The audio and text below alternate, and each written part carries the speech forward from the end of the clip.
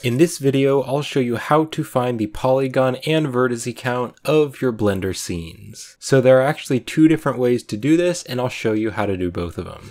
So the first way is to click right up here on the viewport overlays, and then you're going to click on the statistics. And when you turn that on, you can see right over here, it shows you all of the data. So it shows you the amount of objects, the vertices, edges, faces, and triangles. And just so you know, faces and polygons are actually the same thing, but in Blender, they're called faces. Now, because we are still in object mode, this data here is going to show us the data for the entire Blender scene.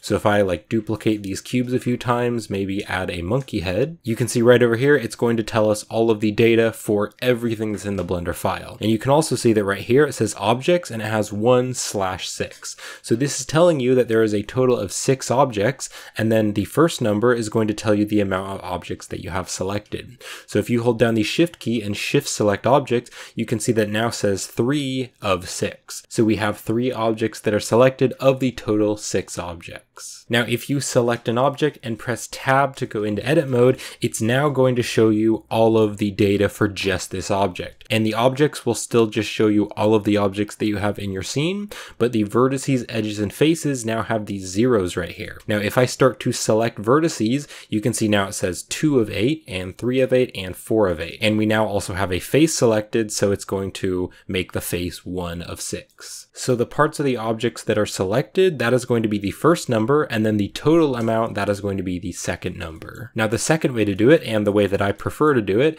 is to right click on this little bar right down here, and then you're going to click on the scene statistics. And then it's going to tell you, if I just turn this back on, it's going to tell you all the data right here. So you can see it says verts, and verts is short for vertices, and we have faces and tris and objects. And just like the statistics up here, if you tab into edit mode, you can see it's going to tell you the amount that's selected. So if I just shift select some of these, you can see it now right over here on the verts, it says three of eight. And then if you want to leave this on so that it's in all of your future Blender projects, just click on edit and then open up the preferences. And then in the user preferences, you can just click over on interface and then you're going to go right down here and open up the status bar. And then right here, it's going to show you the same settings. So you can just turn on the scene statistics. And then right here next to me, you can just click on the Save Preferences button, or the Autosave Preferences might already be on, and then that way it'll be turned on automatically in your Blender projects. So I do really prefer to have the scene statistics down here because it's very minimal and just kind of down there in the corner, and so I can just ignore it most of the time, but it's always there if I want to take a look at it. So that's going to be it for this video. I hope this was helpful, and thank you for watching.